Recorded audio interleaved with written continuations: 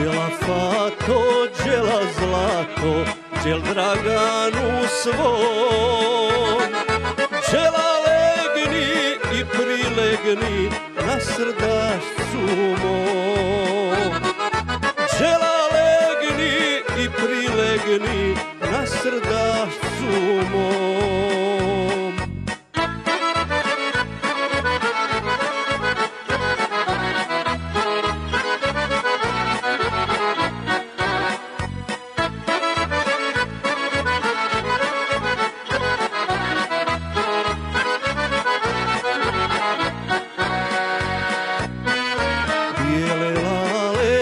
Lale pozaspale i alkatmeri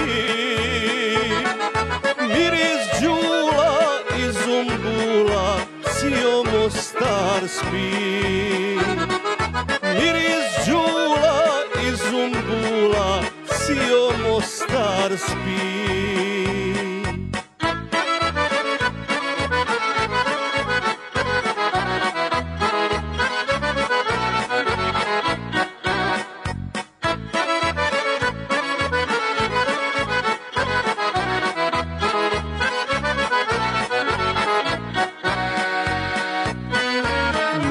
glavu mirisavu na ljedarca tu.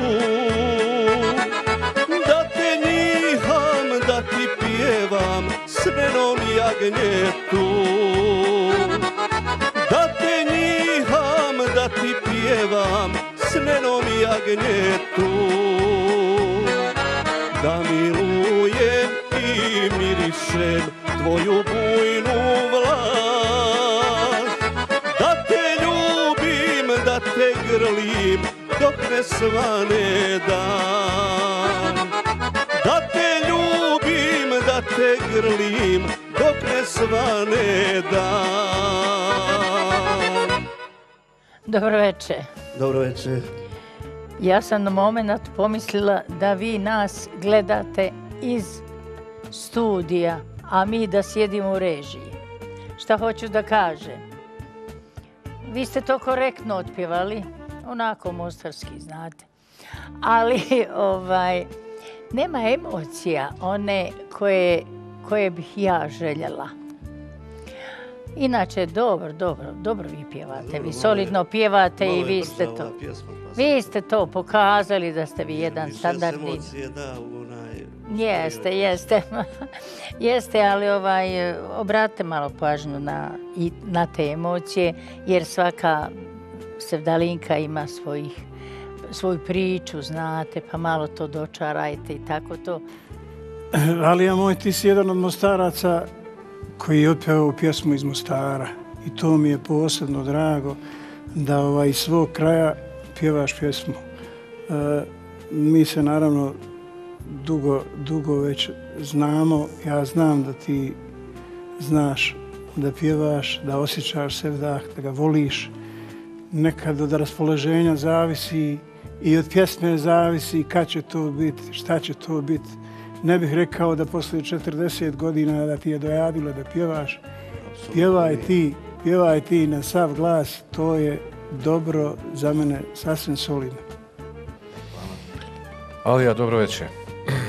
Ja sam se uvijek divio ljudima koji vole pjevat, a ti si jedan od tih, baš ono u pravom smislu te riječi, uvijek, u svako vrijeme, u svako doba dana, noći ti voliš da ovaj pjevaš.